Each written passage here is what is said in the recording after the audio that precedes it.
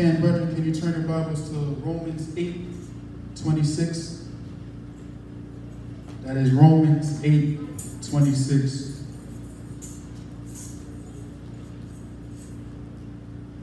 We'll be reading from, we will go to 26 to 28. I'll actually stand one more time as we read the Word of God. One more time, that's Romans 8, 26. If you have it, say amen. Amen. Amen. Likewise, and the Word of God says, Likewise, the Spirit also helpeth our infirmities, for we know not what we should pray for as we ought, but the Spirit Himself making intercessions for us with groanings which cannot be uttered. And he that searcheth the hearts knoweth what is in the mind of the Spirit, because he maketh intercession for saints according to the will of God. 28 and last, for we know that all things work together for good, for the good to them that love God, to them who are called according to his purpose. Amen. Amen. This is the word of God. Be, be seated if you can. As we look at the text, the text is offering reassuring words. Reassuring words to the people of God. Are times that the people of God are weak, not just physically weak or mentally weak, but spiritually weak. There are times when you cannot muster up the courage to even pray for yourself. The pain in life is so great, so severe, so stressful. You find yourself unable to mouth or form the words to pray unto God.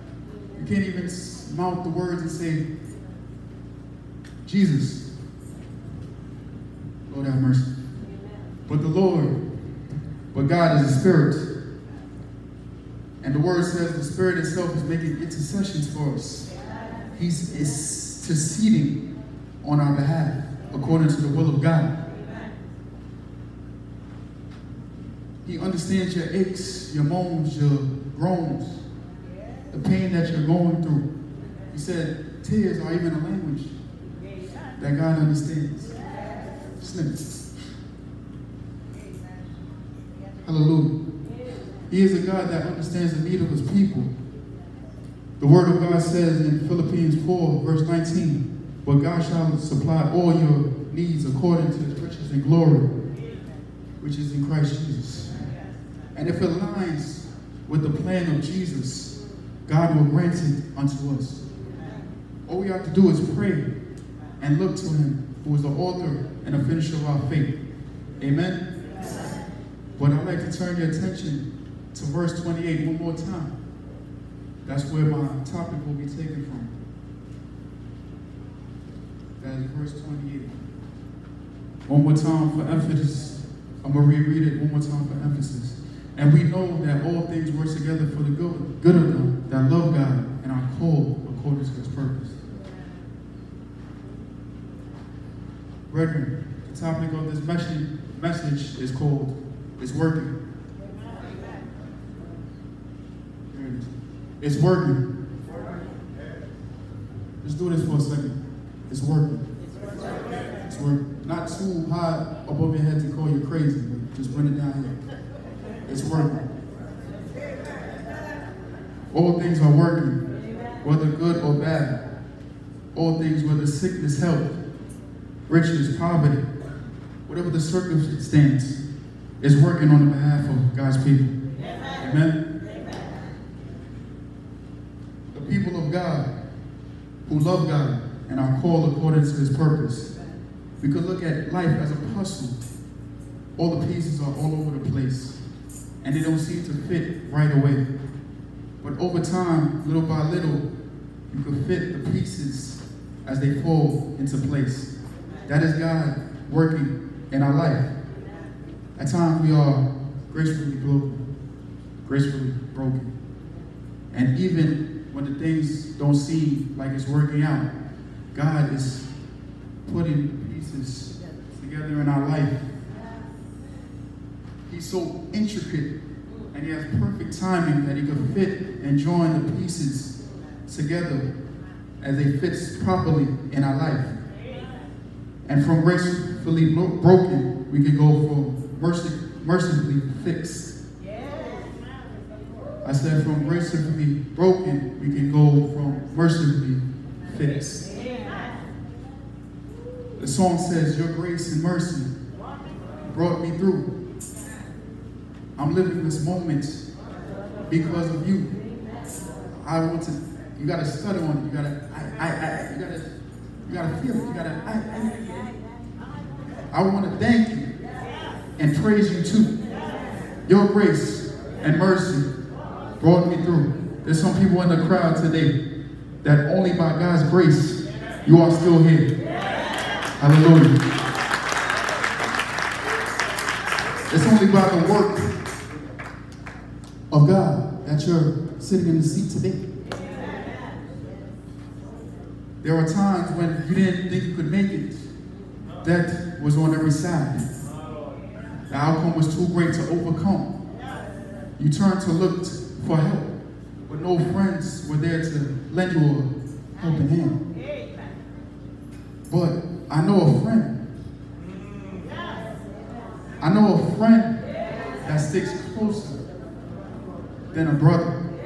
A lift a heavy burden, that could be touched with the feelings of our infirmities. And his name is Jesus. His name is Jesus.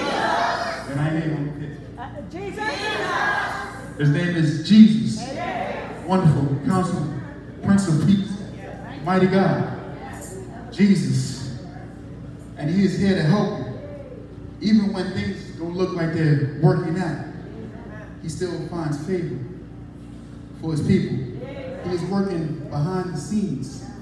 He's working it out for your good. It's working. Hallelujah. As you look at the screen, you see two gears. And one gear is the pinion gear, the smaller one. And then the larger gear is called a gear. That's a gear gear. And know, technology is so advanced. I know pastors like technology. It's it's changing. It's become so advanced, as I said. Mostly all machines have gears.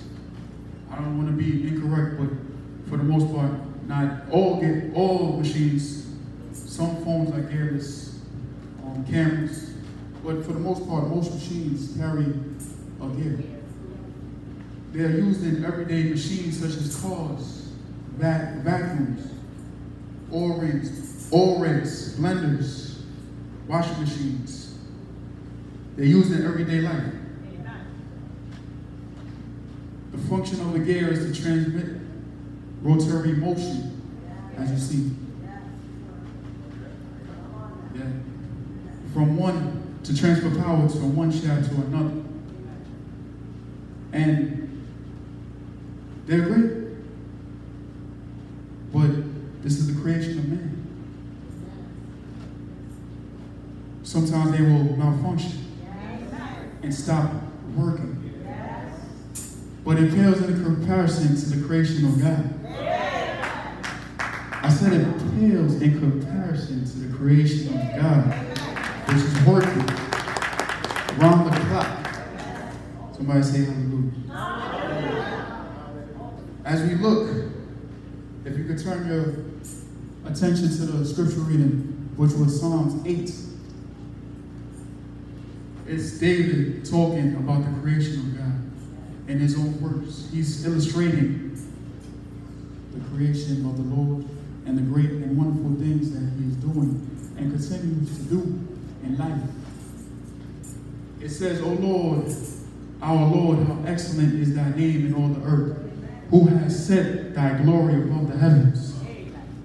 It's so powerful, you have to say it twice at verse 9. It's the bookend of the chapter, the beginning and the end. The Lord is excellent. The Lord is wonderful. He is a miracle worker. He is a problem solver. He's the light in the darkness. Of course he is. He's the creator of the world.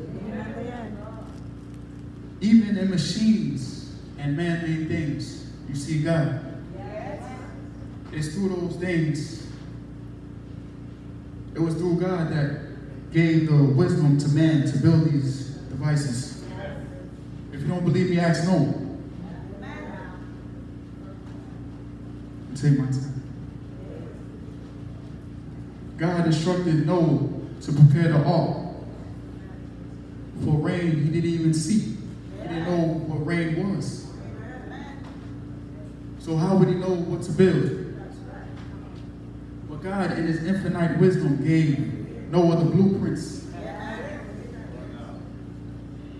The dimensions of the ark, the cubits, and how to design it. And when it was completed, Noah and his family and two animals of every kind went inside the ark. And it rained. And it rained. And it rained some more. It rained 40 days and 40 nights. The windows of heaven were open and nonstop rain came down on the world. The power of God. But despite that, Noah and the people and the occupants, the animals, were safe. There was no malfunctions. There was no leaks in the ark. There was no test drive. They didn't go out. God sent the rain. It didn't work. It came back. No, it was one straight cruise. It was perfect, as someone said. It was intact. It was working. Just a small fraction of God's almighty knowledge and power. I wish I could word it, but I'll be here all day and all night to tell you how excellent God is. His glory cannot be contained. It, sa- it says his glory is above the heavens, which is multiple heavens. Not just the one in space, but there's a level beyond that. Heavens. You can't contain the glory, the power of God. Like I said, if you were at the beach and you look out into the ocean and you see the sky and the water, the horizon meet, the clouds, the sea, the ocean, everything. It's an absolutely beautiful view. This is the creation of God. There's a small fraction. There's more in the world. It's the work of God. God, men cannot create these things. The seasons, the elements. This is truly the work of God. Hallelujah. And God is above it all. He also extends his grace, his strength, in verse 2, to the babes and sucklings has thou ordained straight strength because of thy enemies, that thou mightest still the enemy and avenger. That means to silence the enemy. Children are a blessing, truly a gift from God. As you watch a child grow from not able to fend for itself, not even talk, but to grow strong to the men and women of tomorrow, as you see behind me. The strength of the Lord can even be found in babies, that when they grow up, they could be used as a powerful instrument for God. Once again, you don't believe me, ask Moses. Moses was an infant when the Egyptians came around and started killing off the Israelites. But Moses' mother wanted to save him and placed him in a basket full of bulrushes, dabbed it with slime and pitch, and laid the basket on the river bank. He was later discovered by Pharaoh's daughter, and in the twist of fate, she, Moses' mother, was the one to nurse him. She just wanted to preserve life of Moses. But who would know the outcome that Moses would be the key, the vessel to deliver the Israelites from bondage? It was the work of the Lord. It's working. Follow me. It's a long story, but I have to cut it up for time. But the climax was Pharaoh let the, the Israelites go. But he had a change of heart and his, sent his army, which consists of 600 chariots and a captain, a captain over each and every one of them. And they made chase after the Israelites. I could hear the people panic as they looked back and saw the Egyptians charging towards them. Remember Moses saying, stand still. Stand still. And see the salvation of the Lord. The enemy you see today, you will see them no more. I said, God will fight your battles. He will make a way out of no way. Trust God. He's working. He's working. The battle is not yours. It's the Lord. And Moses stretched forth his rod and parted the waters. And the Egyptians